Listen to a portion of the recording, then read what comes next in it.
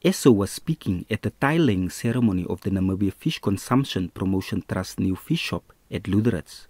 The fisheries minister says domestic distribution of fish will empower small and medium entrepreneurs.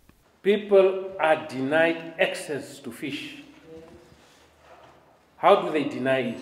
They will tell you the fish is $100 per kilo instead of giving you for $10 per kilo to cover their cost. They increase the prices in such a fashion that it doesn't make any economic sense for the small and medium entrepreneur to buy this fish and to go and resell it.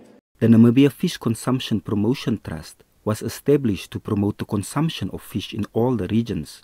In doing so, we have been successful in turning a predominantly meat eating nation into one that now demands a healthier, more nutritious, and more affordable alternative source of protein in our daily diet.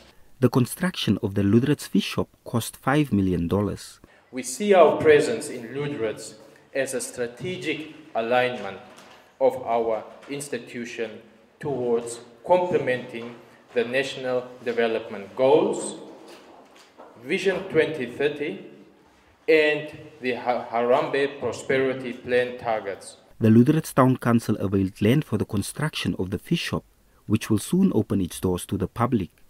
Natangwe Jimmy NBC News, Lüderitz.